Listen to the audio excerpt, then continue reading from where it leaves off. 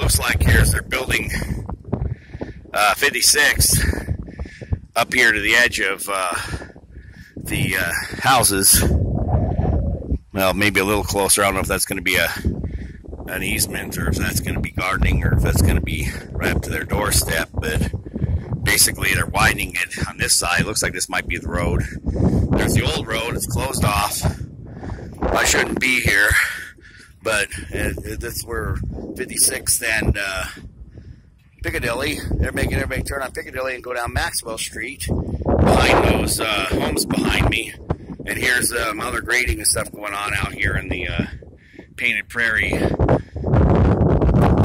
or whatever. It looks like they dug a big hole over here like a drainage. through here. I don't know if it's going to be like a road or just a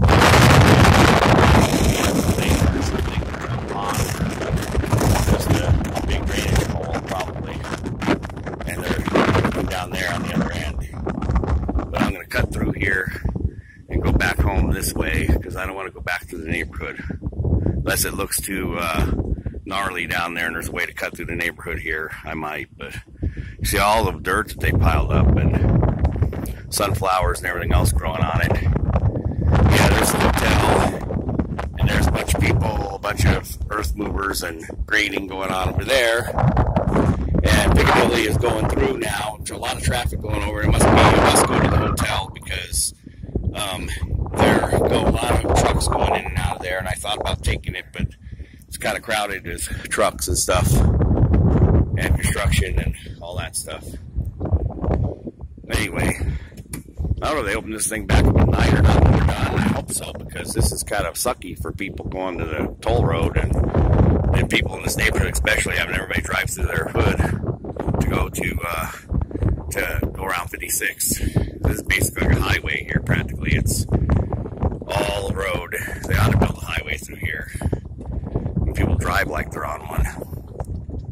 And the distance, the other neighborhood down there that they're doing, uh, uh, grading over there still too. Like I said, they're building a mall or whatever over here, and there's a big mound of dirt. They dug a hole. So anyway, I guess I'll keep riding here. Just wanted to get a picture of all this construction. This is um, July 25th, uh, 2018. See how there, some of them are going straight across Piccadilly, not turning to go to the toll road or whatever, so it's construction people lot of trucks. Hotel property ought to, might extend a little ways out with a supposed to be golf courses and stuff. They may be indoors too. Uh, water park golf course. I'm not sure if it's miniature golf indoors or it's going to be a water park or it's going to be stuff like that. That's what they really built those Gaylord hotels. They have a indoor theme park or maybe outdoors too.